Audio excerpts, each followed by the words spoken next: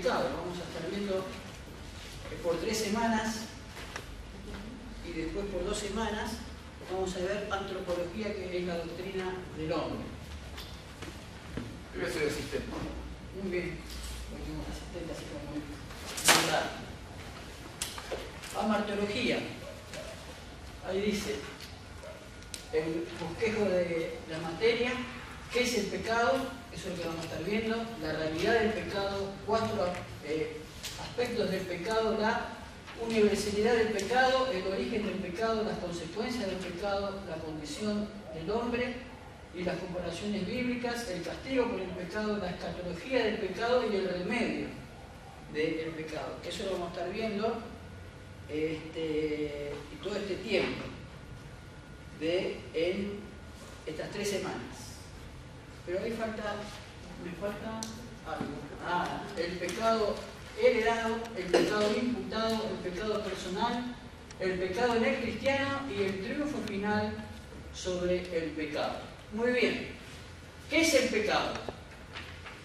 ¿Ustedes qué piensan que es pecado? ¿O alguna definición que ustedes tengan sobre el pecado? Cosas que desagradan a Dios. Cosas que desagradan a Dios. Bien. ¿Qué más? Tomar decisiones contrarias a Dios tomar decisiones a Dios, esas son, son, son consecuencias. Infracción de la ley. O sea, lo que dice en la ley. Ajá, infracción de la ley, muy bien. ¿Qué más? Creer en imagen. ¿Eh? Creer en imagen. Errar al blanco. Errar al blanco. Yo pregunto por ahí. No, no, no. Están dentro de lo que era la definición estamos bien. Muy bien, dice, ¿qué es el pecado? Tanto en el hebreo, en el Antiguo Testamento, como en el griego, en el Nuevo Testamento, son variadas las palabras que se utilizan para, referirse al pecado. De la suma de sus significados podemos extraer una definición del concepto. Secretario.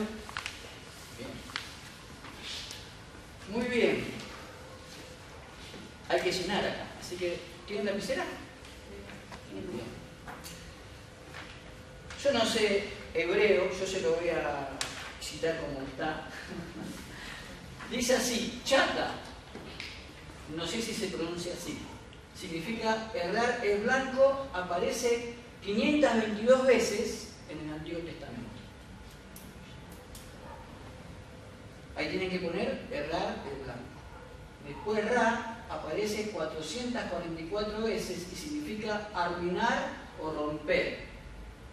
Eso es lo que significa. Después pasa, significa rebelarse, aguón, iniquidad, y zapat, descarriarse como una oveja o como un borracho. Eso vamos a leerlo. Isaías, mientras ustedes se anotan, en la primera parte vamos a notar bastante, después ya en los conceptos nos vamos a detener un, poquitito más. Isaías 28, 7.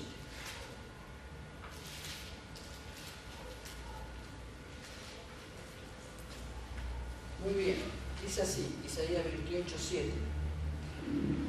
Dice, pero también estos erraron con el vino y con la sidra. Se, dice, el, muy bien, el sacerdote y el profeta erraron con sidra y fueron, dice, ¿qué dice ahí?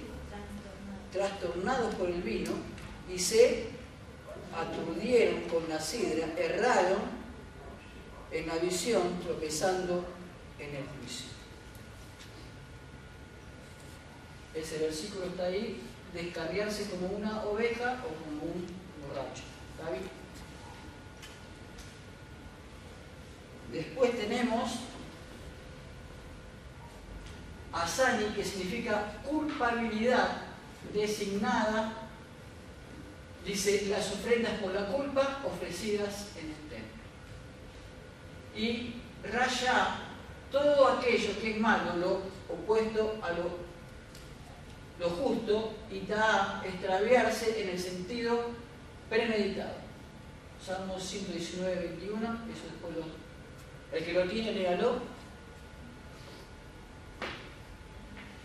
Primero anoten.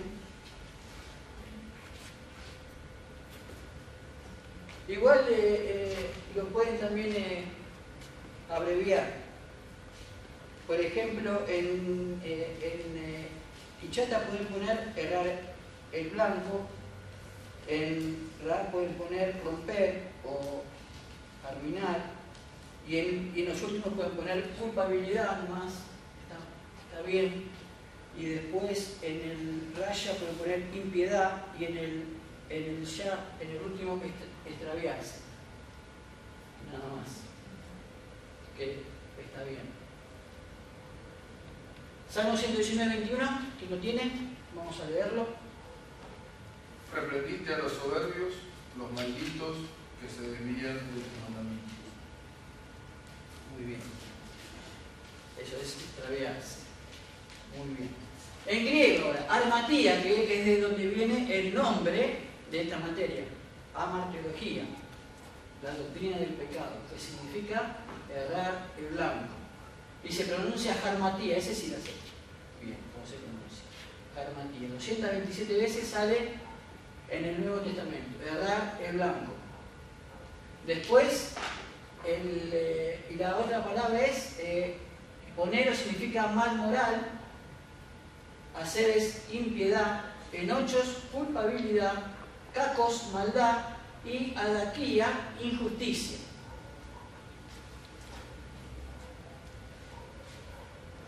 Y yo tengo algunos versículos más, si ustedes quieren poner en, armatía, pueden poner Romanos 3.23 al costadito, donde dice, el blanco pongan Romanos 3.23, que dice, por cuanto todos pecamos de la gloria de Dios. Y en el, en el siguiente pongan Marcos 3.19, en Acebes pongan Romanos 5.6, en, en 8 pongan Santiago 1.10, en Capos pongan Primera de Juan 1.9, que dice si confesamos nuestros pecados, el fiel y justo para limpiar nuestra maldad. Me quedé en Romanos 5, 6. Yo Te me- quedaste en Romanos 5.6, ese está en. Aceves. Después el, en 8 eh, Santiago 2.10 y en Caco pongan Primera de Juan 1.9. Y en Aliquía pongan Santiago 3.6. Ese lo vamos a leer.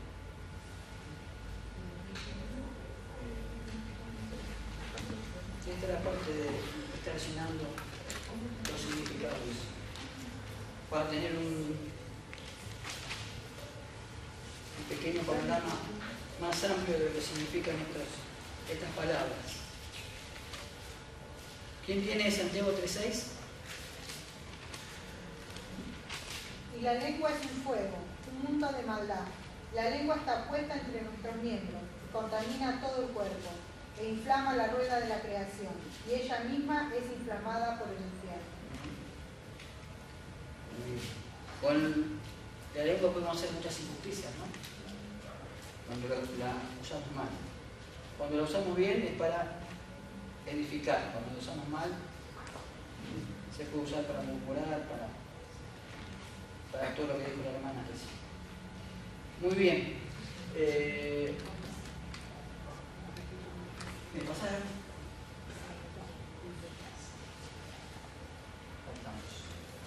Muy bien. Seguimos con anomos, significa ilegalidad. Y para ver es transgresión, ei significa ignorancia, planado, extravío, para toma, ofensa, hipocrisis, apariencia o interpretación falsa. Y hasta aquí las palabras que son correspondientes eh, a las traducciones. Ahora vamos a buscar la definición del pecado. Anoten, mientras ustedes van anotando, vamos a ver lo demás.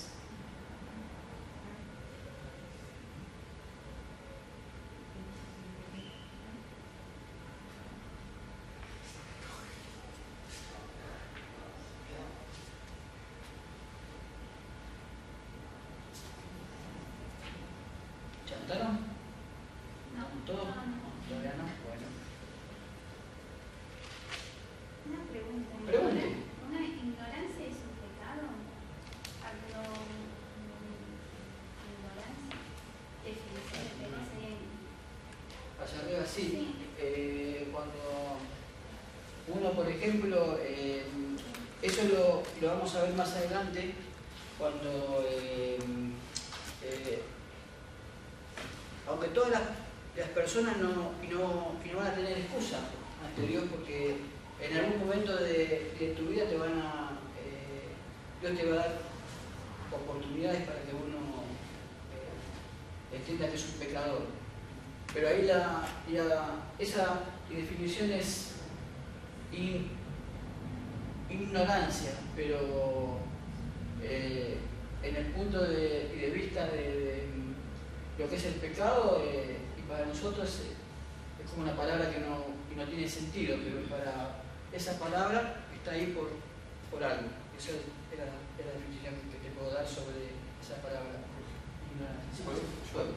Eh, estas palabras son traducciones, o sea, cuando nosotros, o sea, en la Biblia va a figurar pecado. Bien.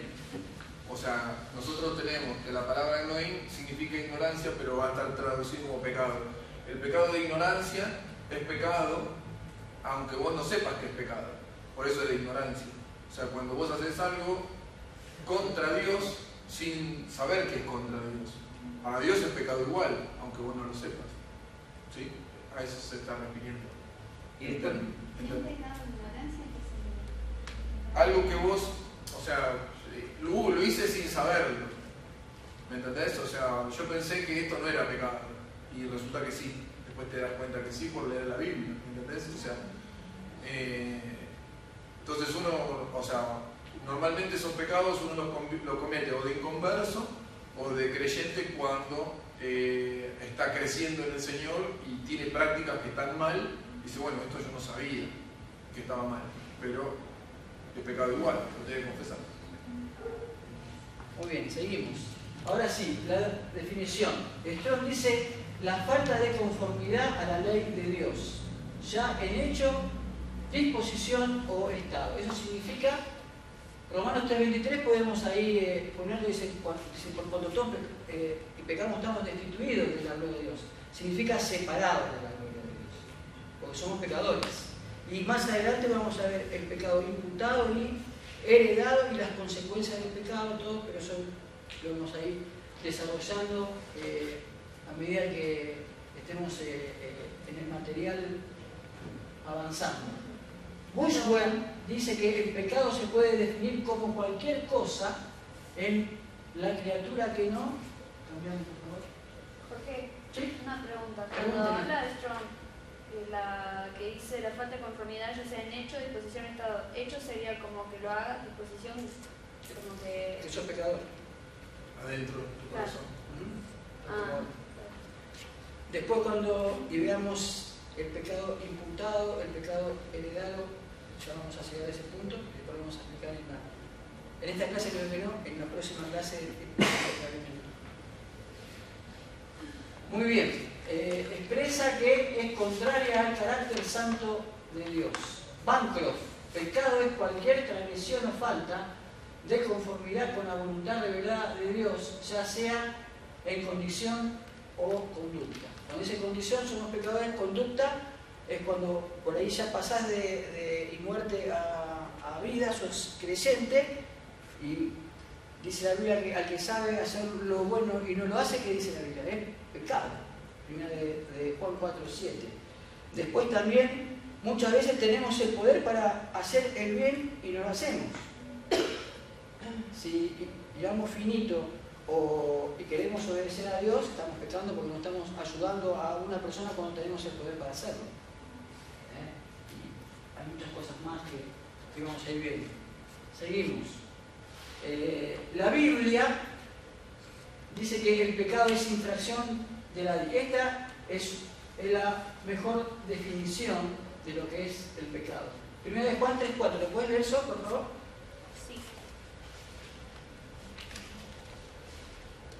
el pecado es infracción de la ley.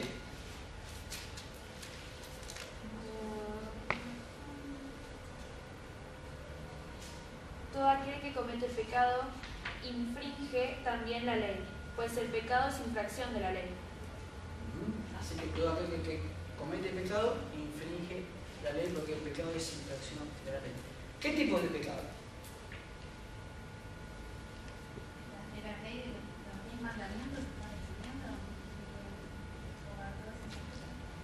613 mandamientos en el Antiguo Testamento. Cualquier tipo de pecado, un solo pecado. Por ejemplo, en este lugar acá, nadie mintió en, en su vida. Nadie pensó mal de nadie. ¿Eh? Ah, bueno, ahí está. A eso está. Nadie le quiso pegar al compañerito cuando iba al colegio o, o le quiso meter el pie. No, nadie, no. Esas cositas, esas, eso. Bueno, seguimos. El pecado es todo lo contrario al carácter de Dios. Romanos 3.23 dice que por cuanto todos pecamos estamos separados de la gloria de Dios. Porque somos pecadores. Y, y seguimos siendo pecadores. Pero pecadores redimidos.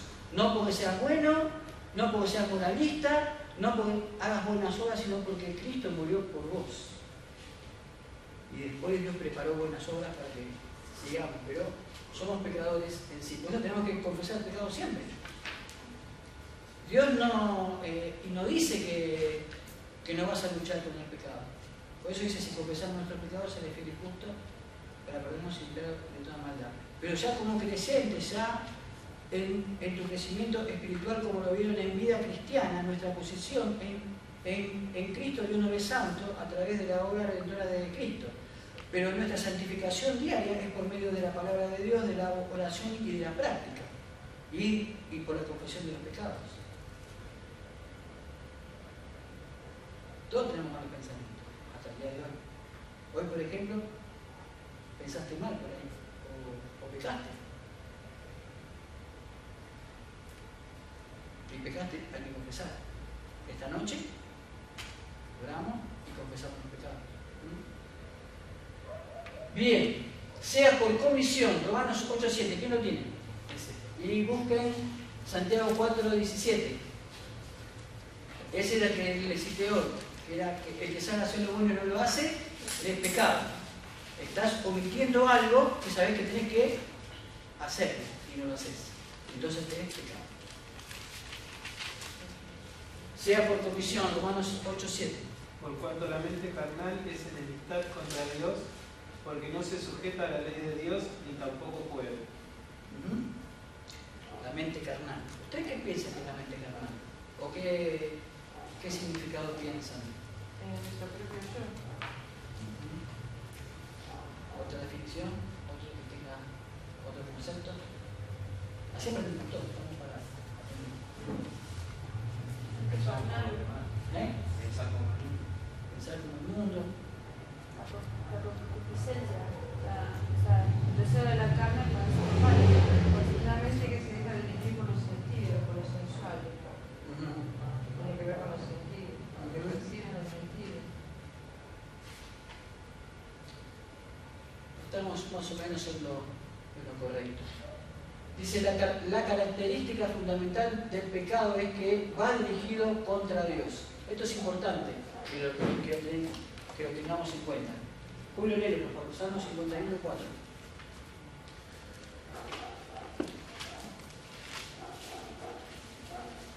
Contra ti, contra ti solo he pecado y he hecho lo malo delante de tus ojos, para que seas reconocido justo en tu palabra y tenido por puro en tus juicios. Ese fue el, el- salmo de confesión del rey David. ¿Saben cuánto tardó David para confesar su pecado? Un año. Un año. Un año sin confesar su pecado. Hoy estaba en, eh, en mi negocio, estaba tipo 11 de la mañana y me entró un, eh, un hombre para hacer una fotocopia y estaba escuchando música cristiana. Y entra y me dice, oh, qué, qué lindo, dice, eh, escuchar música cristiana y entrar en un lugar así, dice, porque mi hija va a la iglesia y es fiel. Y yo iba, pero ahora estoy apartado. Le dije, estás a una oración de confesar tu pecado y volver. Me salió así, ¡uf! me dice muchas gracias y se fue volando. y se fue volando el, el, el cliente, pero instantáneo fue. Le dije así, estás a una oración de confesar tu pecado y de volver a Cristo. Se quiso congraciar con el, con el comerciante y le salió mal el tiro. ¿Mm? No, pero es así.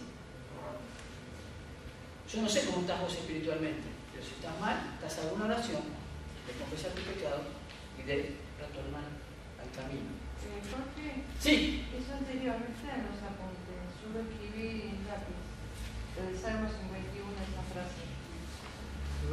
La característica fundamental del pecado es que es realidad, es. Es- ¿no lo tienen? no, Yo tampoco lo tengo. Está ahí. Anótenlo, anótenlo.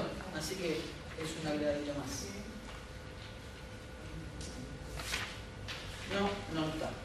¿Lo podés volver a, volver a copiar? ¿A Ahí está, ahí está, sí. La característica fundamental del pecado es que va dirigido contra Dios. Y ahora.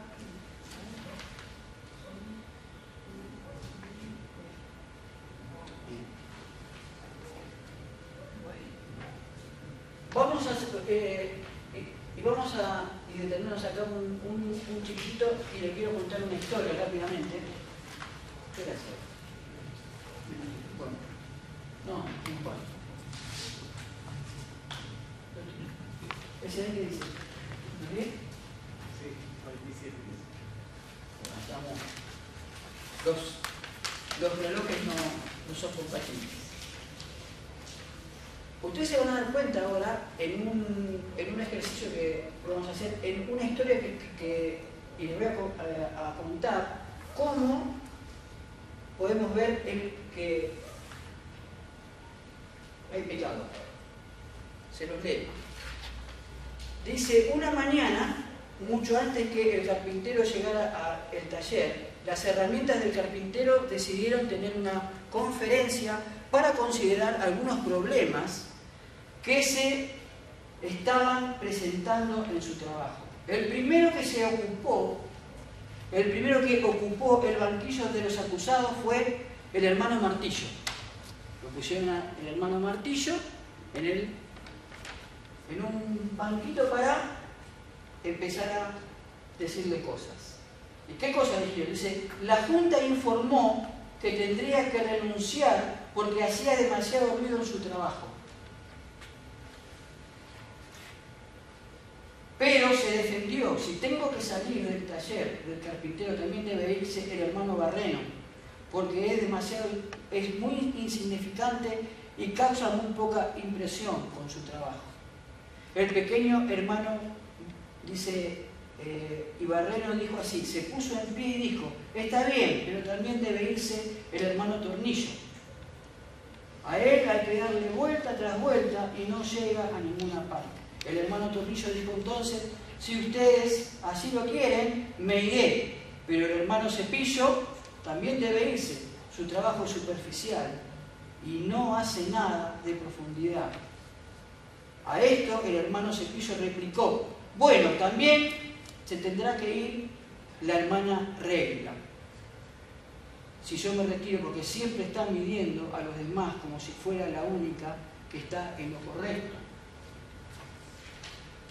Seguimos, hay más. La hermana Regla se quejó de la hermana Lija. ¿Por qué se ríe la semana? Y dijo, no me importa que sea más áspera que lo que debe ser, pero siempre está tratando de un modo poco amable a la gente. En medio de la discusión entró el carpintero de Nazaret, antes de lo esperado. Había ido a trabajar como todos los días, se puso el delantal, se acercó al banco para hacer un púlpito. Usó el tornillo, el barreno, la lija, el serrucho, el martillo, el cepillo y todas las herramientas. Terminadas las eh, labores del día, y el púlpito se levantó el hermano Serrucho y dijo, hermanos, me he dado cuenta que somos colaboradores de Dios. Pregunta, ¿habrá entre tus conocidos alguien que no cumple sus deberes en la forma que piensas? ¿Qué deberían hacerse? Sería bueno pensar dos veces antes de criticar o juzgar o hallar falta en alguno de los instrumentos que Dios usa para el, para el progreso de su obra aquí en la tierra. Si un juicio egoísta contra uno de los instrumentos de Dios hace que éste sea removido de su trabajo, ¿quién será el culpable? ¿De la dilación o, de, eh, de las eh, acusaciones? ¿O de la discusión o del desacuerdo en la obra de Dios? Que Dios nos perdone y obre en nuestras vidas. Es una historia que la escribió un eh, pastor que posiblemente cuando la escribió en su congregación había problemas. Problemas de murmuración, de división, de egoísmo, de competencia. Esas cosas son pecados. Y si, le sumamos a esas todas las, listas de pecados que ya vamos a estar viendo en el apunte también. Seguimos. Eso quise hacer un pequeño alto. Muy bien. No es un accidente, no es algo que nos sucede, sino algo que provocamos. El pecado. Siempre hablando del del pecado, ¿no? No es causa del destino, desafortunados, no culpables. No es, producto del atraso. Aceptan que el hombre falla, pero que pronto dejará de hacerlo. No, no es una especie de ascetismo. El mal está en el cuerpo. No. Es ausencia del bien. La teoría que argumenta que el hombre puede aprender a ser bueno. El, pecado es una realidad. El pecado es una realidad. Por eso la, la palabra de, de- de Dios dice que, puesto los ojos en Jesús, el autor y consumador de la fe, despojémonos de todo peso y del pecado. Dice, despojémonos de todo peso y del pecado. ¿Qué son los pesos? No es plata, ¿eh? No. ¿Qué es un Se peso? agobiado. Por el agobio del pecado. ¿Agobiado por qué? Porque a veces consciente inconscientemente genera un estado de decaimiento, de culpa. Todo eso trae eh, problemas a veces físicos, depresión. Entonces, O una situación que no te gusta, una situación incómoda, o, o- situaciones que te pasaron que, que- te acarrea pesos. Dice, y del pecado. El pecado te asedia todos los días, desde que te levantás hasta que te vas a dormir. En lo que mirás en el celular, en la compu, en la tele, lo que escuchás en la radio, o, en tu, o la música que escuchás, cómo mirás a las personas, cómo tratás a un, un montón de cosas. Eso es en la, parte interpersonal, ¿no? Y en, la, en la parte con uno, como y lo que haces cuando nadie te ve. Vos pensás que nadie te ve, pero Dios te ve. Siempre. Seguimos. Cambiamos, por favor. Bien. Las escrituras lo revelan al pecado, ¿no? Dice Romanos 3.23, por cuanto todos pecamos estamos destituidos de la gloria de Dios. Ec- Ec- Eclesiastés 7.20 que dice, ¿quién lo tiene? Ciertamente no hay hombre justo en la tierra. Ciertamente no hay hombre justo en la tierra eh, que haga el bien y. Nunca peque. Ahí está. Nadie, ¿eh? Ninguno. Después dice, la experiencia lo demuestra. Job 44. ¿Quién lo tiene que lo lea rápidamente? Job 44. He aquí que yo soy vil.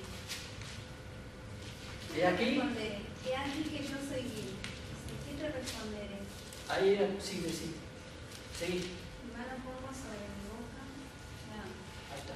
Ahí era cuando yo le, yo le estaba haciendo las, las preguntas a Job. Las 69 preguntas que Dios le hizo a Job. Cuando decía, ¿dónde estabas tú cuando se formó la tierra? Le fue describiendo todo y hasta que él tuvo, hizo silencio, ¿no? Porque vio su, su condición. La conciencia lo reconoce. Romanos 2, 14 al 16. ¿Quién lo tiene? A ver, Julio, ¿lo puedes leer fuerte? Son Porque cuando los gentiles que no tienen ley hacen por naturaleza lo que es de la ley, estos, aunque no tengan ley, son ley para sí mismos, mostrando la obra de la ley escrita en sus corazones, dando testimonio su conciencia, conciencia y acusándoles o defendiéndoles sus razonamientos, en el día en que Dios juzgará por Jesucristo los secretos de los hombres conforme a mi evangelio.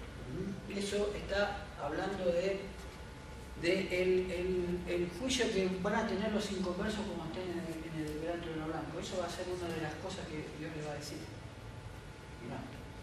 Yo le- les di oportunidades, estaba todo escrito en mi palabra, les, les- les compartí en el Evangelio, no, no me quisieron aceptar como Salvador, y, y todo esto dice la palabra de todas las personas que rechazan el Evangelio. Hay otro texto en segunda de Tesalonicenses 1.8 que dice, en llama de fuego para dar retribución a los que no conocieron a Dios ni obedecen el Evangelio de nuestro Señor Jesucristo, los cuales sufrirán la pena de eterna perdición, excluidos de la presencia y de, y de la gloria de su poder.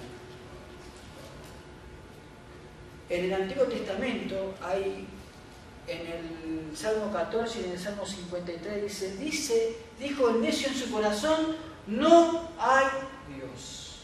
Salmo 9.17 dice que los malos serán trasladados al cielo, al infierno, los que no se iban a convertir.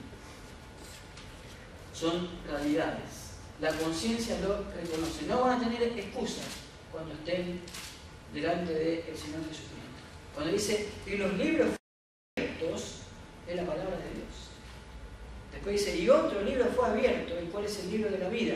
Y el que no se halló inscrito en él, no es salvo. Porque en el libro de la vida están los salvos. Yo no sé qué, día tomaste decisión por Cristo, yo sí. Yo tomé el 2 de mayo de 1987. Acepté a Cristo como mi Salvador. Desde ese día empecé, empezó mi vida cristiana. Después, en paso de obediencia, me bauticé, después me consagré y estoy sirviendo hasta el día de hoy.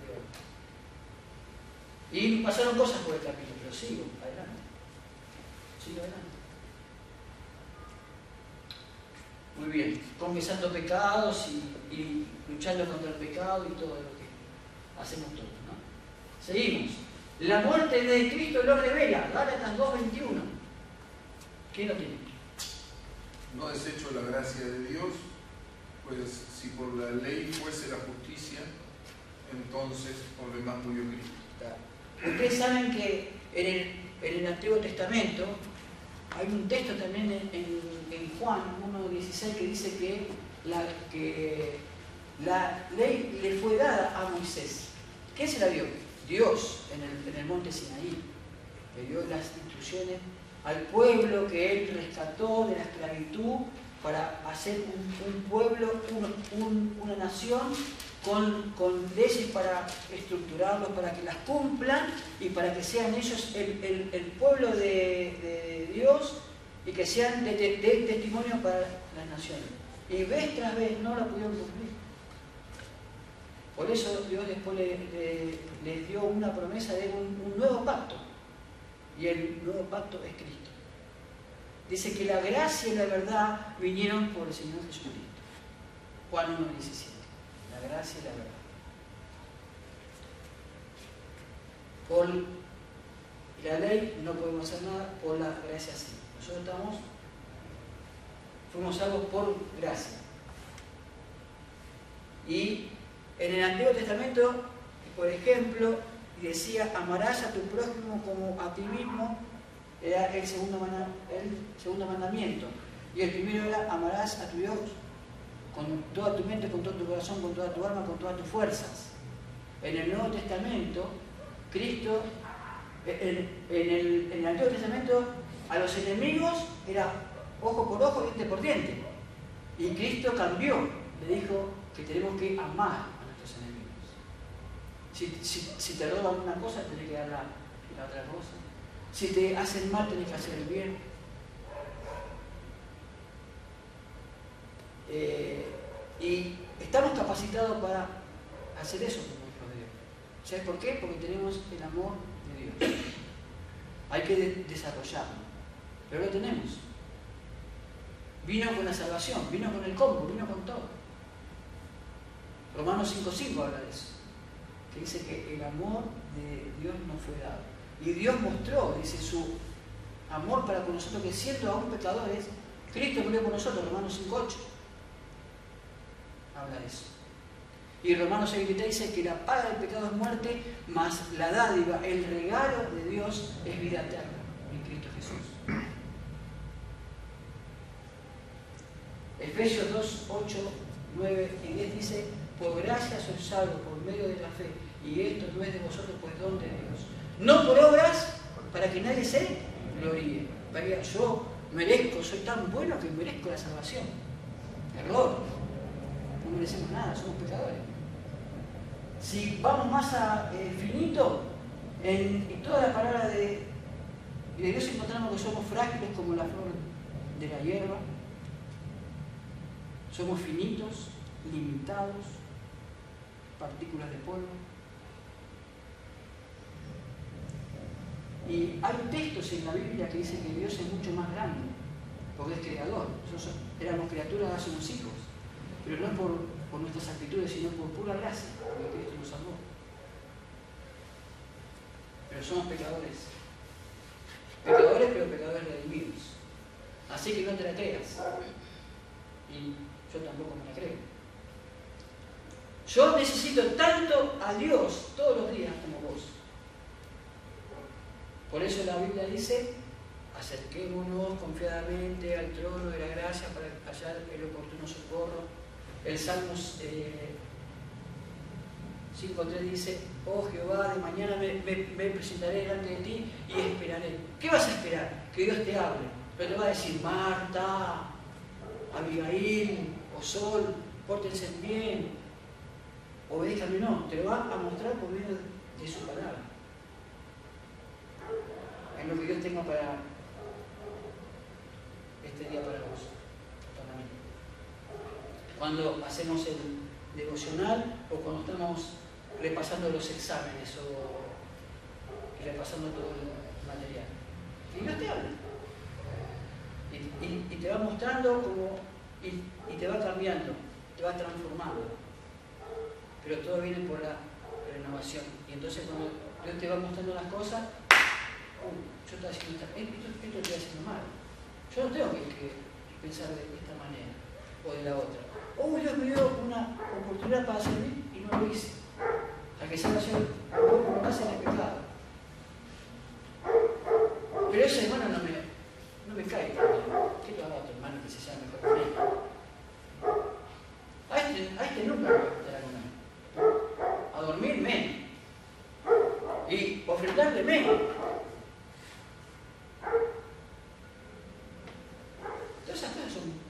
Insignificantes, pero son pecados. Y hay muchas cosas. La soberbia del hombre lo niega. ¿Qué niega? El pecado. No sé si ustedes conocen personas que dicen que, que no son pecadores, que ellos viven su vida. que- Hay personas que sí. ¿eh?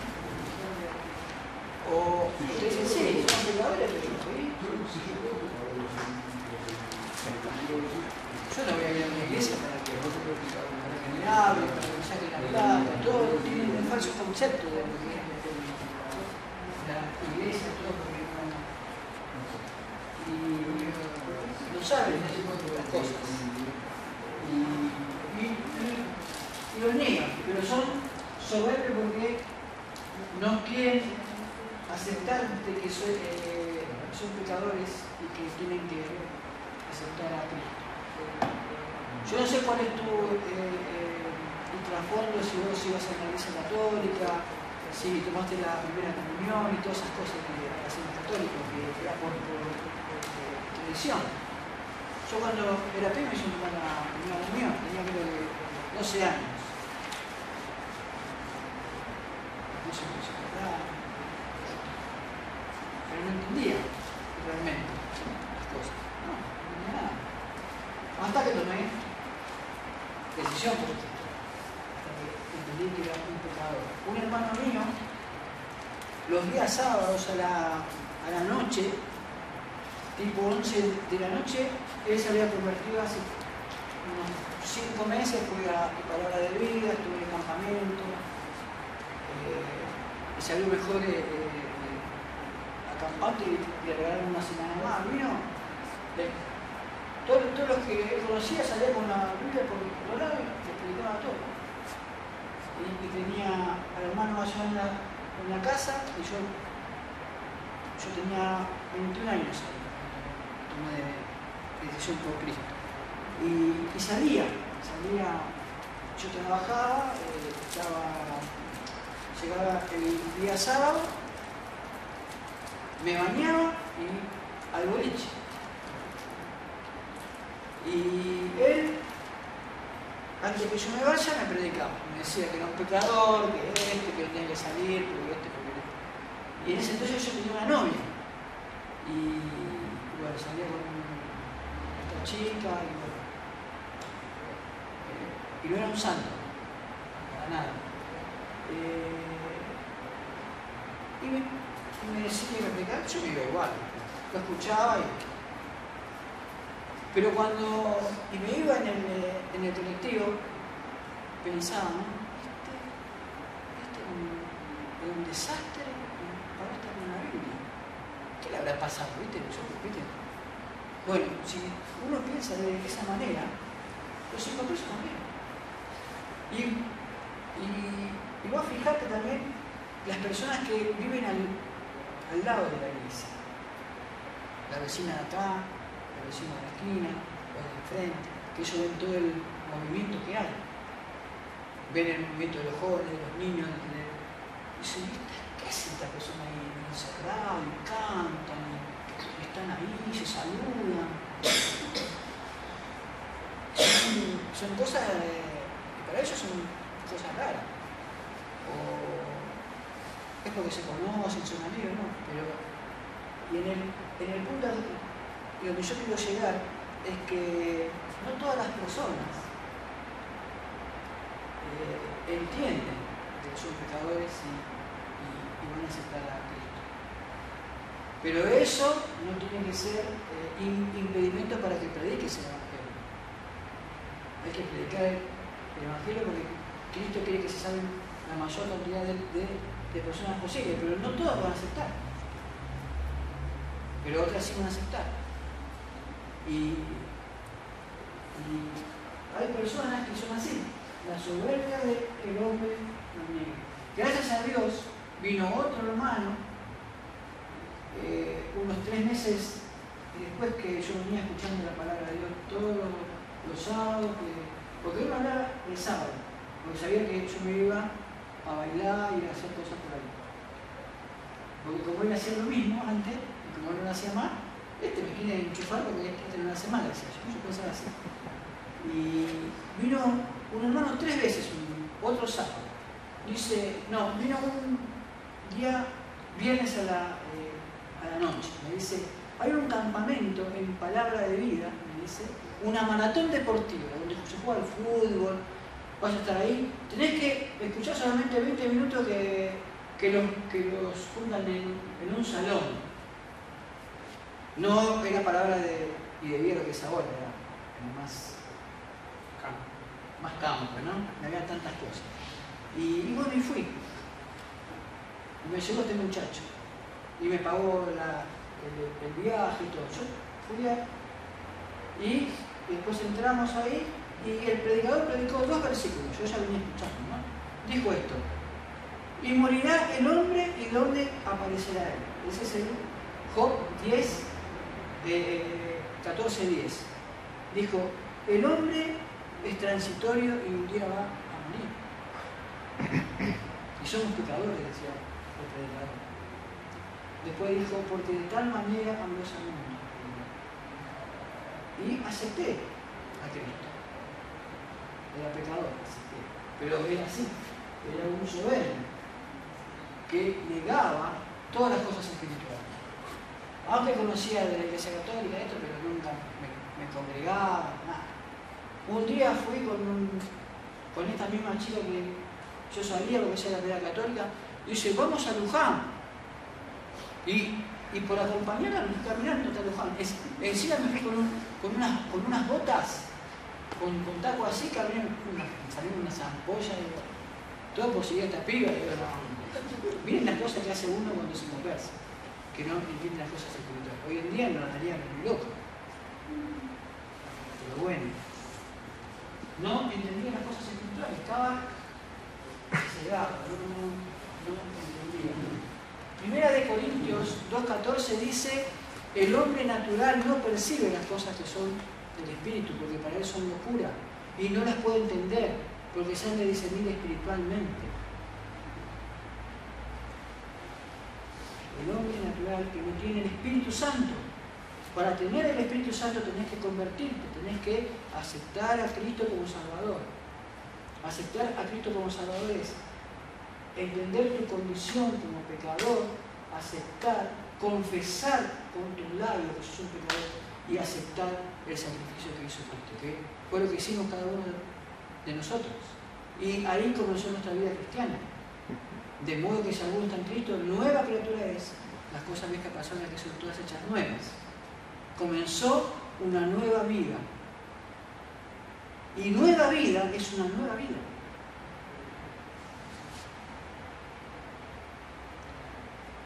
En los campamentos de los, jóvenes, cuando íbamos a los campamentos y llevábamos personas para, cuando ya fui creciendo en la fe, llevaba gente para, hora de vida, los campamentos, maratones, todo, y siempre escuchábamos las mismas canciones. Y siempre los mismos testimonios, que Cristo salva, que Cristo cambia la vida, que Cristo, que Cristo, que Cristo, sí, porque es el Hijo de Dios, es el Salvador, y es lo, que estamos estudiando para enseñar también a otras personas. Seguimos. Cuatro aspectos del pecado desde el punto de vista en relación a Dios. El pecado es cambiarme, rebelión y obstinación. Rebelión y obstinación. Acá estamos hablando en, el punto de, de vista no del cristiano, sino del inconverso. ¿Cómo? Nosotros sí sabemos esto, ellos no lo saben, pero tenés que entender o ponerte en su lugar. Vamos a buscar un, texto en, Tito, Tito capítulo 3, para darle más luz a, a la idea.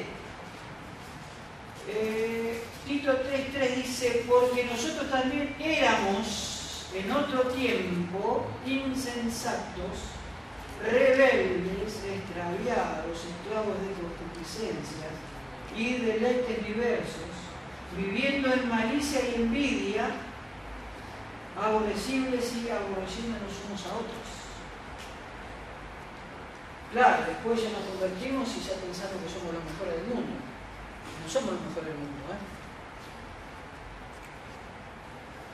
Nosotros tenemos que comprender que todo lo que Dios nos muestra y todo lo que Dios quiere generar en nuestra vida, como lo decía el, Señor Jesucristo cuando oró en el Getsemaní, dijo esto, santifícalos con tu palabra, tu palabra, palabra. Oraba por los que se iban a convertir, oraba y les pedía a sus discípulos que fueran fieles y que predicasen el Evangelio. Los entrenó, como ustedes están entrenando en, la escuela bíblica para ser más fructíferos para Dios, para tener el conocimiento adecuado y poder ser un canal de bendición para sus hermanos o para los inconversos que no conocen a Cristo. Y por eso estamos viendo todas estas partes que son importantes. Rebelión, obstinación, falta de amor, desde el punto de, vista en relación a la ley de Dios, el pecado es transgresión voluntaria. Busquen ahí Salmo 19.13 y transgresión por ignorancia. Eso es lo que estás preguntando hoy vos. Ahí lo vamos a ver. Vale. Muy bien. Transgresión voluntaria. Salmo 19.13. A ver, eh, Julio, ¿eh? Y Hebreo 9.7 Sol. Léelo por favor. Eh, preserva también a tu siervo de la soberbia, que no se enseñoreen de mí, entonces seré íntegro y estaré limpio de gran rebelión. Ese, el, Salmo 19, de- el versículo 1 al 6 dice, los cielos cuentan la gloria de Dios y fundamento está mostrando la grandeza del hombre, después el versículo 7 hasta el versículo 11 habla del poder de, de la palabra de, de Dios y desde el versículo 12 al 14 habla de los cielos. ¿Cómo van a responder ante la palabra de Dios, ante, la, ante su creador? ¿Y qué tienen que? Dice, guárdame de las soberbias. Después el versículo 14 dice, crea en mí un corazón limpio que sean agradables los dichos de mi boca, lo que Dios va produciendo en tu vida. Eso es otro tema. Pero, Dice, transgresión por ignorancia. Hebreo 9.7 que dice, Ah, pero en la segunda parte, solo el sumo sacerdote una vez al año, no sin sangre, la cual ofrece por sí mismo y por los pecados de ignorancia del pueblo. Ahí está. Una vez por año entraba el sumo sacerdote con sangre en el dedo, iba al lugar santísimo, tenía unas, unas campanitas, porque si entraba en, pecado moría. Entonces, si no sonaba la campanita, hay una canción que dice, están sonando las, las campanitas, dice, porque el, el- sacrificio fue aceptado, pero cubría el pecado del pueblo. Y en cambio, el Señor Jesucristo se olvidó de, de toda nuestra vieja vida de inconverso cuando, nos convertimos. No quiere decir que no va a seguir pecando, tenemos que, cam- que cambiar. No vamos a pecar más, ¿saben cuándo? En el cielo. Ahí no vamos a luchar con el pecado. Pero en la tierra siempre vas a luchar con el pecado. Vas a luchar con las tentaciones, con el pecado, con los pesos, con esas tres cosas vas a luchar. Y con el enemigo, con vos mismo y con este mundo. Tres cosas que hay que luchar siempre. Con la vanagloria de la vida, el deseo de los ojos, la concupiscencia. Hasta y van a llegar días que es, ay, está lloviendo, hoy no voy a ir, hoy me duele el dedo gordo, Dios perdoname, me falto. O se voy siempre a la iglesia, ¿qué hace un domingo sin? ¿Para qué voy a ir al club bíblico día? Un día que lo hace. Y, yo pensaba el apóstol Pablo, ¿no? Hoy en día hay celular, computadora. El, el apóstol Pablo iba a caballo a veces, caminando muchas veces, en barco, en carreta, como sea, el tipo iba y caminaba bastante. Tenía una agilidad, estaba entrenadito, estaba en ritmo y predicaba. Los, los expulsaron de la ciudad, eh, le pegaron latigazos, le metieron preso, el tipo seguía. Porque comprendió las verdades espirituales. Cuando vos ves personas que pasan los años y están siempre con la palabra de Dios, están siempre eh, donde hay el movimiento, porque entendieron lo que Dios hace, lo que Dios produce. Y, por ejemplo, eh, mi amigo eh, Gabriel, él está casi 10 años en, este ministerio y, y hizo también otro ministerio. Yo lo conozco hace mucho tiempo, pero en, en estos últimos años tenemos una otro, otro tipo de, de relación, ¿no? Y yo veo su, su fidelidad.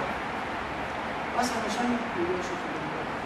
Y siempre cuando compartimos lo que Dios hace en nuestra vida, siempre eh, yo digo esto, y que me dicen a mí, de todo peso y pecado que nos hace y, corramos con paciencia la carrera que tenemos. Y no sabemos hacer, y no sabemos hacer otra cosa entrenar a hermanos equipados con la palabra de Dios para que sean mejores cristianos y para que Dios los utilice. Llenados para ser vaciados. Dios los va a llenar para vaciarlos. Y después Dios va a utilizar su, su ministerio de discipulado, de visitación, de ayuda con los niños, con los jóvenes en la escuela dominical, en, las reuniones femeninas, en, todo tipo de ministerio, en los pequeños grupos, y pongan sus, sus casas para que se hagan las reuniones, para que pongan sus propias vidas para el servicio. Y Dios utiliza pecadores redimidos, pecadores comprados por su sangre. Seguimos. Desde el punto de, vista en relación hacia el hombre, el pecado es injusticia, falta de amor. Eso se va a reiterar por eso el tema, más adelante también vamos a poner. Desde el punto de vista en relación con uno mismo, el pecado es egoísmo. Yo tengo un sobrinito que tiene un año y tres meses. Y, y yo le doy siempre una eh, galletita y después, y para ver si él me devuelve, digo, le das a tu tío Jorge, toque, no, no, no, y si se va para atrás se la lleva, ¿viste? A la galletita. Eh, pero cuando vos tenés, él te pide, de una le das. Egoísmo. Corrupción. Salmo 51.5, Javi lo puede leer. El, el rey David, como en la, en la obrita de los jóvenes, ¿no? ¿Cómo es el pecado, no? El tipo miró lo que no tenía que mirar, no solamente lo miró, sino que lo deseó y lo agarró. Algo que no tenía que agarrar, pecó. Y no solamente pecó, sino que planeó para matar al esposo. Una cosa de. Un rey. Un, un, una persona que veía lo que Dios hacía en su vida. Y yo pienso en los misioneros, en los pastores, en los líderes, que estaban muy bien en la fe y hoy no están. Están apartados de Dios, como si nunca hubieran conocido a Cristo. Por eso el pecado es destructivo. Y tenemos que tener mucho cuidado. Mucho cuidado. Eh, y por ejemplo, lo, los, los que estamos al frente muchas veces somos bombardeados con cosas, siempre. Siempre vienen, vienen cosas que no, que no son de Dios. Viene gente que tengo un trabajo para vos que es mucho mejor que va a hacer. Y te vienen con un paquete con luces de colores. Hay que ser agradecido por lo que uno tiene y ver cómo Dios va a estar obrando. O, o, te dicen, tengo una, tengo una hermana para vos que es especial en lo que vos necesitas. Mirá, por ahí. Por ahí sí, por ahí no. Buenas intenciones muchas veces no son lo que Dios quiere para tu vida. Si Dios quiere que yo sea, eh, que tenga buen trato, todo, pero tengo que tener di discreción y distancia para, para ciertas cosas. Eso no quiere decir que, que, no, uno no, no, va a estar eh, cediendo en, en, ciertas cosas. No. Y, y muchas veces el buen trato es malinterpretado. Y ahí vienen los problemas. Y en, y en, la, en la fe, yo conozco muchos hermanos, hermanas, misioneros, hombres de, yo donde voy a, eh, por ejemplo, si voy para hasta Chile conozco un montón de hermanos que me hospedaron, estuve trabajando con ellos, estuve en, en- en- Santa Fe, en eh, Paraguay, en un montón de, lugares. Pero siempre haciendo lo mismo. Y, eh, y- y lo que yo veo siempre es que Dios obra siempre. Siempre. Y cuando yo era inconverso, Dios ya había pastores, ya había todo. Y a veces en las iglesias, algunos hermanos piensan que, que- que sin ellos la obra no, camina. No. Somos todos pecadores y sí todos tenemos que en- enfocarnos en lo que Dios hace a través de, su palabra y estar eh, atentos a que Dios vaya transformando tu, vida y ser útil. Y eh, yo siempre oro por ustedes. Y, y- yo los conozco de estar en la iglesia, hace más o menos un año que me estoy congregando acá, como, como, como, miembro, ¿no? Pero yo ya venía, donde yo me congregaba, tuve casi 25 años en ese lugar, fui para otros lados, todo, y, tengo gente muy querida que me invitan siempre a venir a y yo digo, hoy no puedo, puede ser. Eso no, no quiere decir que, no, no quiera estar con ellos, pero no puede estar en 50 lados a la vez, tenés que ver las prioridades y lo que Dios te va marcando en tu vida. Pero siempre está todas estas cosas.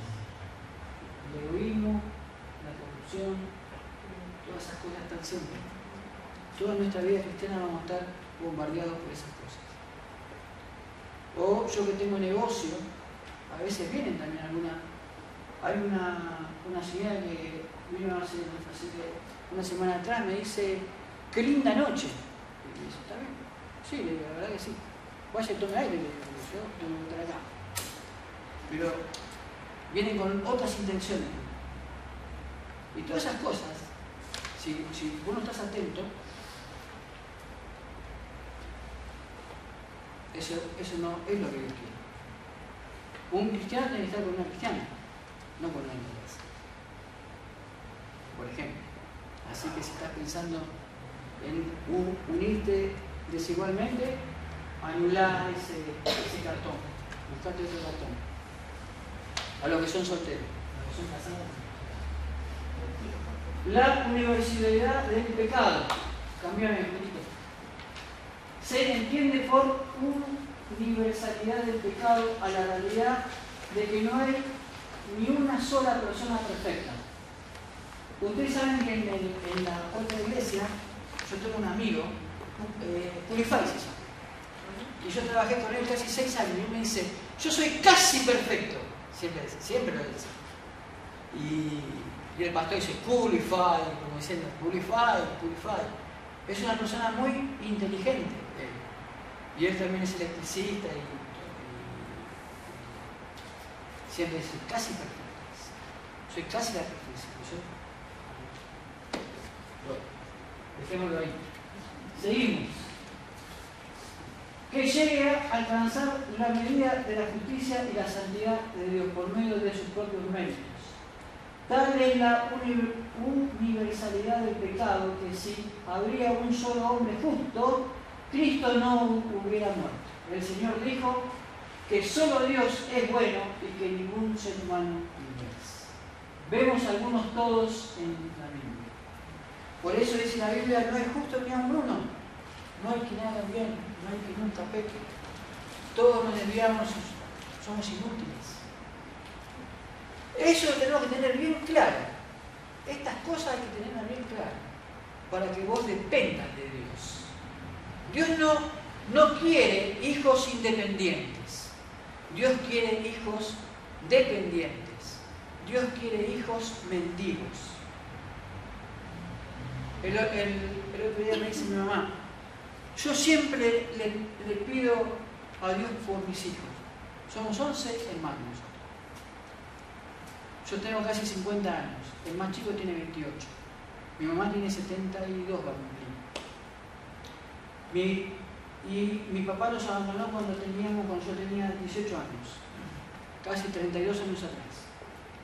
Se fue con otra mujer, formó otra familia. Inconverso, ¿no? Eh, y bueno, entonces todos los, los más grandes nos- hicimos cargo de los hermanos más chiquitos y, y le dimos para adelante. Y- pero ella siempre estuvo alrededor de sus hijos. Y todos mis hermanos están siempre con mi, mi. Y entre, somos muchos hermanos, no todos están en la fe, pero tienen una cosa en común, mis hermanos, que cuando uno le, le va mal, todos los ayudamos. Y no hay distanciamiento entre hermanos, por ejemplo. Seis varones, cinco mujeres, 19 sobrinos. En, la fe, mi mamá, un hermano mío y yo. Una hermana misionera apartada. Y tres o cuatro hermanos que una vez dijeron que confesaron su, su fe, pero su, su vida no dice nada.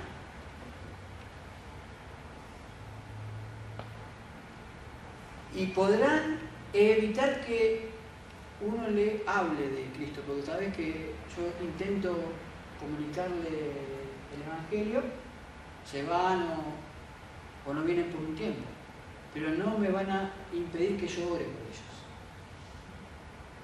Y yo conozco casos de hermanos que estuvieron orando 9, 10, 11 años por ellos, y hoy en día están en la fe, el poder de la oración. Conocí a una hermana, el, el, el Barreto, yo la conocí en el año 92. Y hasta el año 99 me dice, orá por mi sobrina, dice. Orá por, por Diego Velázquez. Orá por Juan Barreto. Orá por Gabriel Barreto. Orá por este. Orá por Gastón Rivero. Cuando era en converso, el pastor de acá. Orá por Cristian, el hermano que me hizo de, de Gastón. Casi todos los que los nombré son pastores o líderes de la iglesia. El poder de la oración, el poder del evangelio. Y sus vidas fueron transformadas. Un par de ellos fueron compañeros de eh, seminario. Casi cuatro años estudiando la, Biblia juntos. Impresionante. Así que siempre hay que orar por los pecadores. Sí. Una pregunta. Eh, hay veces que la Biblia toma la palabra perfecto, por ejemplo, en... Maduro. Claro, pero dice para que sean perfectos y cabales sin que os falte cosa alguna, por ejemplo. Madurez, no perfección. Madura, Sí. madurez. Cuando dice perfecto no, no se refiere a ser perfecto. Es madurez, equipado, preparado, entrenado para toda buena obra. Es la misma idea de segunda de, de Timoteo 3, 16 y 17. La perfección va a ser en el cielo. En la palabra de, de Dios hay dos lugares donde aparece la palabra perfecto. Mateo 5:48 dice, sed pues perfecto como, como y vuestro Padre es perfecto, que significa maduro. Y en la de 2 Timoteo 3, 16 y ¿Qué es 17. una traducción de la Biblia que pone perfecto? ¿O significa, o sea, cuando tradujeron la Maduro, Biblia no, no, pusieron- maduro. La perfección va a estar en sí, espiritualmente.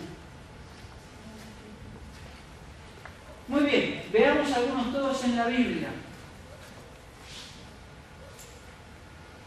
Yo le doy, yo digo cosas que de, de mi vida para que vean que, soy igual que ustedes, porque a veces los, los cristianos tienen, tenemos la tendencia a, eh, cuando está algún maestro, oh, yo que enseño aquello, aquello. No, somos de carne y igual que ustedes, tenemos las mismas tentaciones igual.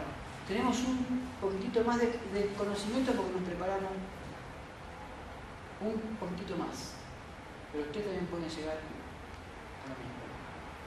Por eso la palabra de Dios cuando obra en tu vida, dice que Él va transformando tu vida.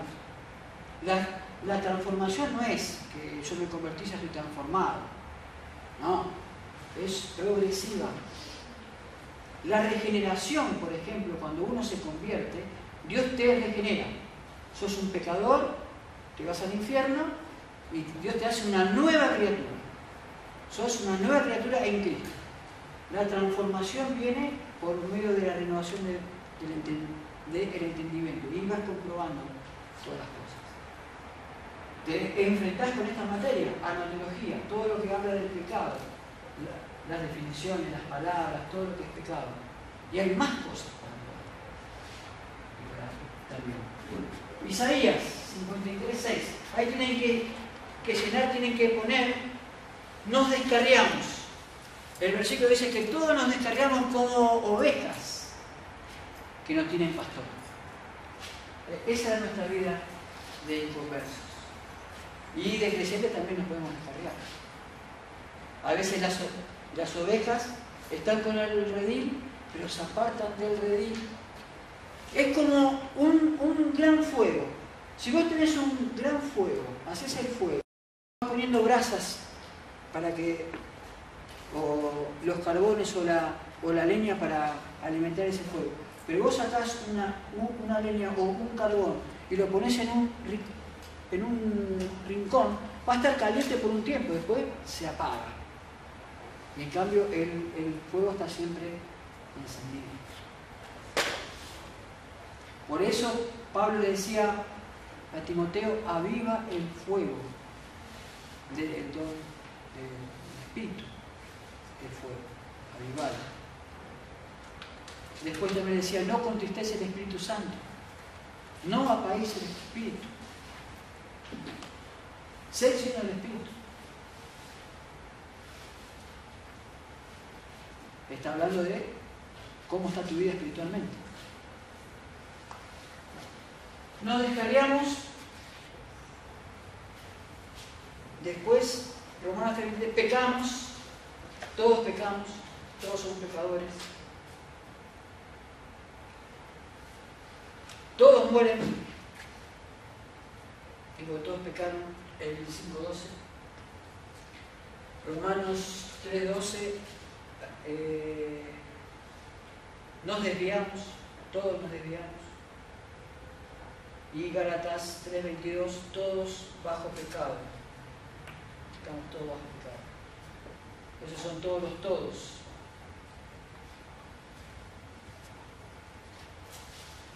¿Me recordés, por favor? Entonces, no descargamos, todos pecamos, todos mueren, nos desviamos y todos están bajo pecado. Son los cinco todos que encontramos en la Biblia.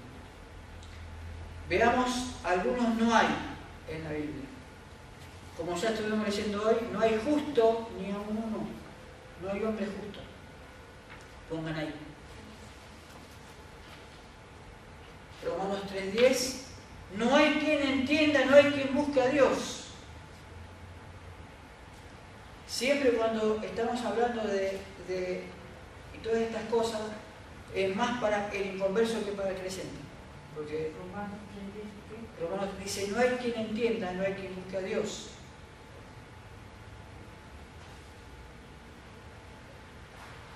Y el Salmo 14 dice, no hay quien hable, ni siquiera uno. Y el Salmo 53, 1, no hay quien busque el bien.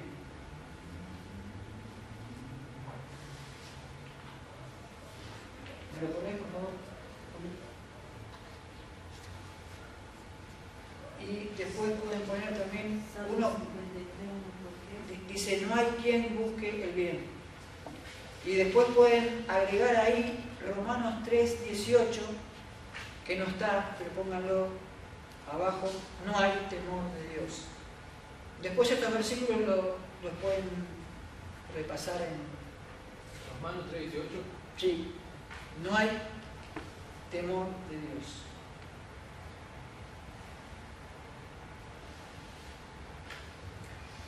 Todos estos son buenos ejemplos para testificar, para compartir el Evangelio.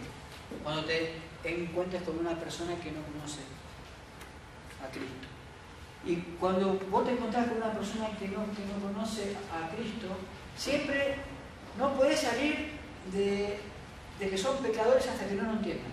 Porque si no, tenés que mostrarles que son pecadores.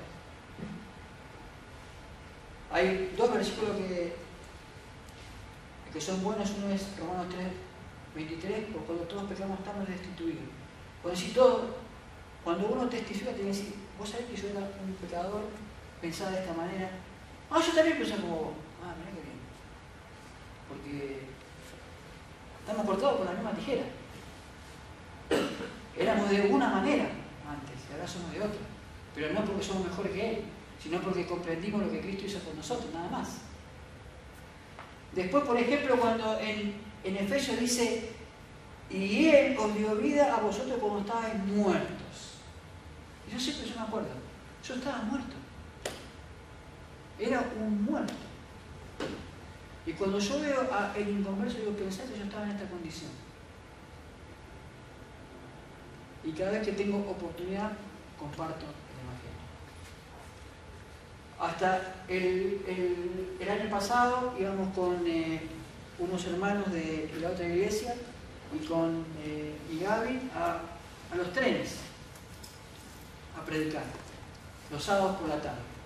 Nos presentábamos, yo me llamo Jorge, eh, soy de tal iglesia, eh, trabajo para que, para que no piensen que no estamos acá de, de balde.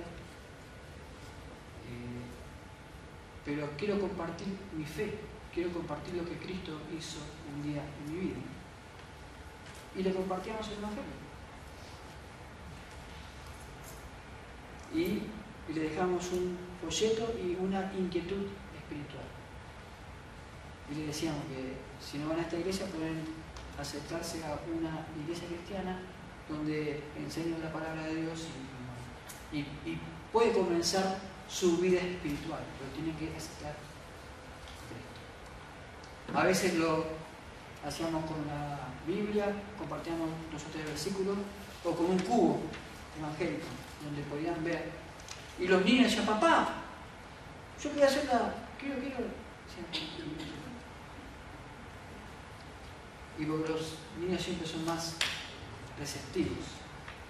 Y un día estamos ahí en el tren y habían dos o tres parejas ahí, que no sé si eran. Le digo, y por ahí en este tren hay personas que están en- engañando a su esposa o a su esposo con una persona que no es su compañero o compañera. Uno se da cuenta cuando y de la risa se creó el, tren como suspenso. Y un día estábamos predicando y se paró el tren ahí en- entre Saldías y, Retiro.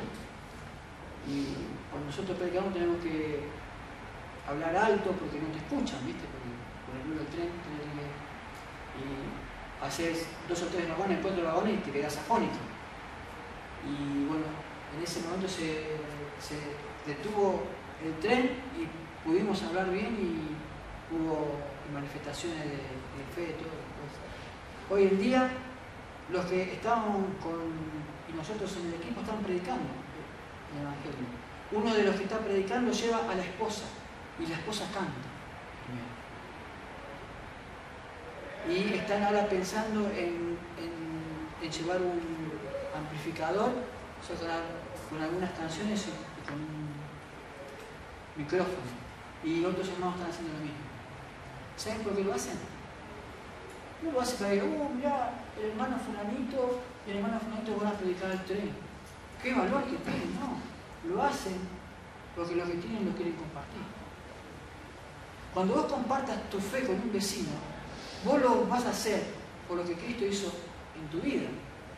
No para que digan, mirá la hermana Luisa, o la hermana Ana, o, la hermana Silvia, o, la hermana Patricia, o Marta, y, lo hacen. Lo hacemos porque tenemos necesidad de hacerlo. Nada más. Y una de estas cosas es bueno saberlo para poder testificar bien.